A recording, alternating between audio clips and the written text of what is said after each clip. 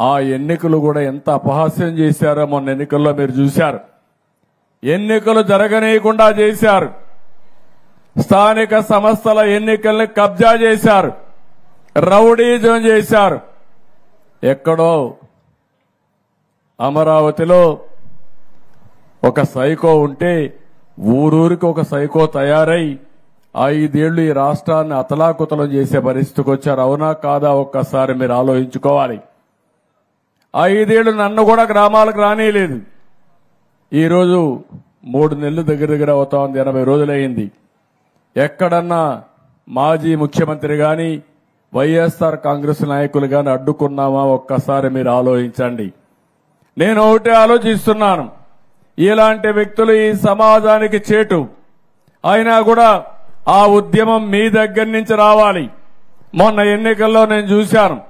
Telugu Desam party పెట్టి నలభై రెండు సంవత్సరాలు అయింది కానీ మొట్టమొదటిసారిగా తొంభై మూడు శాతం గెలిపించి బ్రహ్మరథం పట్టింది ఈ ప్రజానీకమే బ్రహ్మరథం పట్టారు. అన్ని జిల్లాల్లో వందకు వంద శాతాన్ని గెలిపించారు.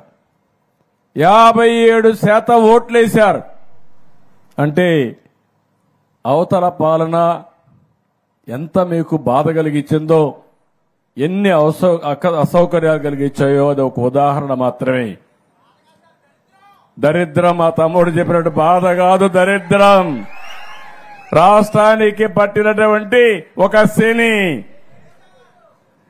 తమ్ముళ్ళు ఒక విషయం గుర్తుపెట్టుకోవాలా మీరు? ఇప్పుడు కూడా భూతం ఉంది.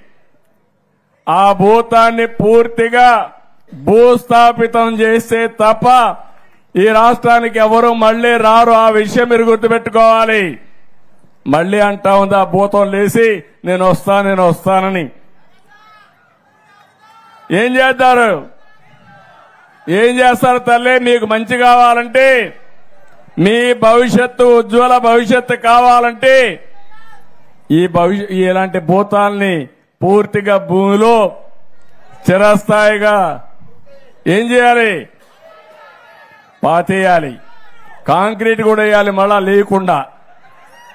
అప్పుడే ఇది సాధ్యం అవుతుంది ఇప్పుడు ఉన్నాడు మిత్రుడు పవన్ కళ్యాణ్ గారు నేను పోతే మీరు ఒక విషయం చూడండి. మాకంటే గొప్ప వ్యక్తి పెద్ద చదువుకున్నాడా నెత్తిన రూపాయి పెట్టి ఆలం వేస్తే ఒక్క పైసాకు పోడు. అలాంటి వ్యక్తి ఏమేం చేశాడో మీరే చూశారు.